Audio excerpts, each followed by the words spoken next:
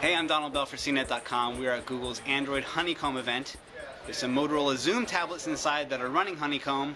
I'm going to go inside and check it out and see what Honeycomb can do.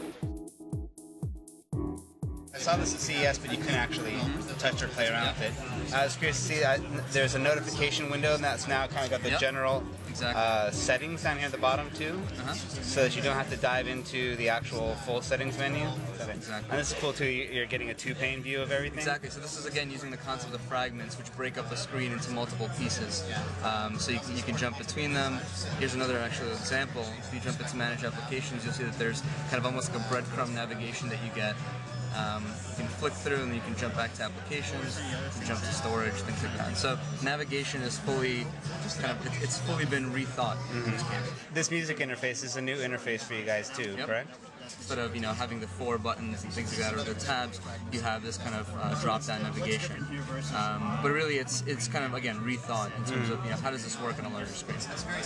So the interesting thing with notifications is actually this is something that's changed in the past. Uh, the notification was always there, but now if you press home, for example, or jump into another app, that notification appears in the bottom. Down here, so you Yep. You can so you've got your, your quick controls for play, pause, and skip.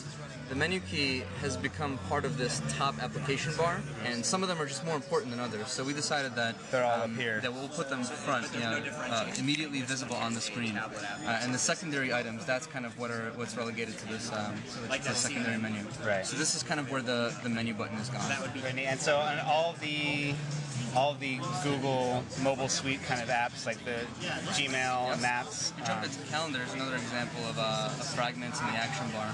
So again, you have this fragment on the right, you have um, this kind of main fragment, and then you have that action bar with the menu items. and is there anything that you guys have done? I mean, obviously the keyboard's a lot larger.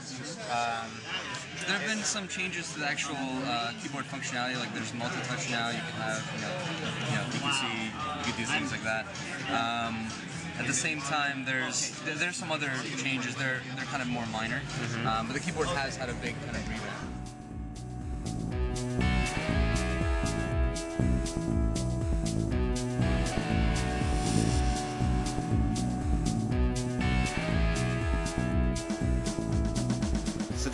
Android Honeycomb on the Motorola Xoom. I gotta say, first impressions, the hardware is beautiful, the screen's really responsive, uh, the touch accuracy is really good.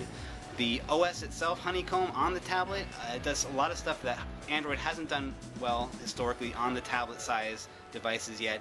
Uh, it's killer email, web browsing is really great. Um, the actual repositioning of, of apps and widgets on the screen and being able to drag down different UI elements. And the repositioning of the settings down in the corner and the, the contextual menu buttons up the top. Uh, overall, you can tell a lot of thoughts gone into it. I'm really excited to see this and do a formal CNET review, hopefully soon. For CNET.com, I'm Donald Bell, coming to you from Google's Android Honeycomb demo.